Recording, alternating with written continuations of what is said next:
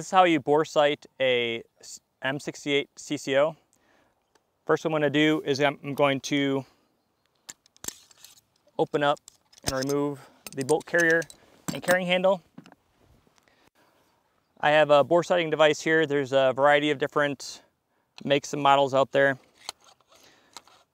What this does is it has a laser now going through the, the barrel and at a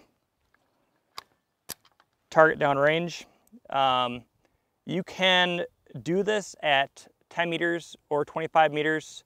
Uh, the TM um, for the optic has offsets.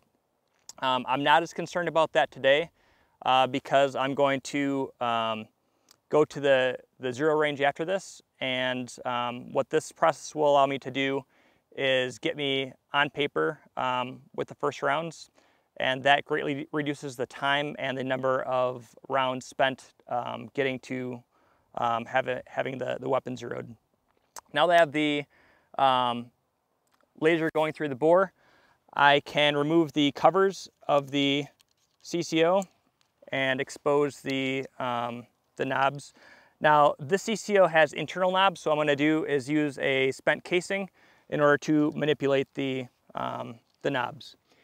So as I'm looking down, I'm going to adjust the size of the dot so I can see it.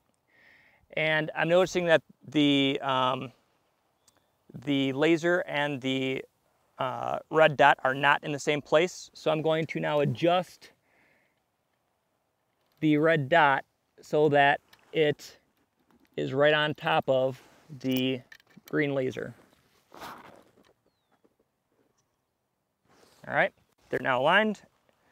I can put the caps back on and this optic is now bore sighted.